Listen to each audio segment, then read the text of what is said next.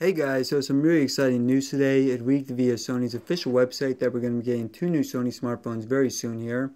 And one of them is the Xperia X Compact, the successor to the Xperia Z5 Compact. And the other is the Xperia XZ, which is the successor to the uh, Xperia X Performance and the Z5. So here is a look at the X Compact. Uh, this week, first via EV Leaks. So just a picture that he posted. Pretty close to the Z5. Of course, there's really not much we know about this. Uh, in terms of the XZ, so this is expected to have a 5.2 inch screen with dual LED flash and USB Type-C. Uh, aside from that, not too much is known about the two phones. Uh, personally, I do have some hopes, things I really want to see with them. Uh, so first of all, we should be seeing them next week at IFA. Uh, so I think a little bit under a week now. The main thing that I want to see for these two phones is I want to see them on CDMA. And for those of you guys who don't know, that's the network for Verizon and Sprint here in the United States. Now my network is Verizon. So unfortunately for the um, Xperia phones, I can only use these as my work phones because my work phone is AT&T, so I can take out the SIM card used on my Xperia phones. But for my personal phone, I have Verizon, and actually the last phone that they released or even is available on Verizon is the Z3V. So, and you guys see there, I've actually cracked. But um, yeah, this obviously this is a few years, a couple years old now.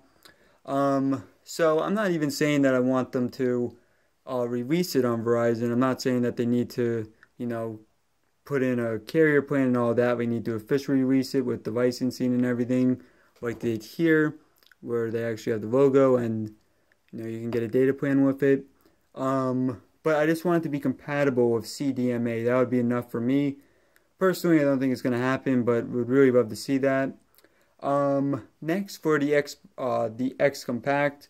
So I'm not, you know, it's not quite sure what Sony's going to do with this. If they're going to make it more of a follow-up to the Xperia X or the X Performance.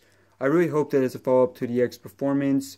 Uh, of course, I want to have that Snapdragon 820 rather than a Snapdragon 650, and I do want it to remain waterproof. Um, and I really hope they do that because, you know, like now there's really not that many good small smartphones like you have here with the Z5 Compact. Uh, so I think they have a great opportunity. They can continue to own that market. Um, but again, guys, we don't know any of the specs. I really hope that we're going to get the 820. Uh, think the 821 would be uh, greedy, but who knows. As long as you don't get the 650 with it, I'll be happy. Um, and then also just for both phones. So my main complaint with the X Performance, now I do think this is a great phone. I really like it.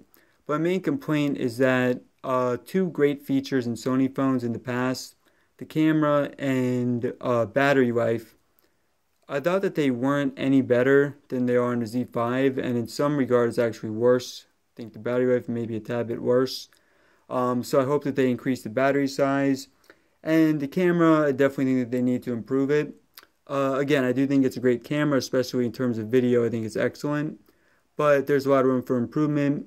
I think this is on par with the Z5 in terms of camera. So, yeah, guys, really hope they focus on those areas. Um, again, IFA next week, so we should find out shortly.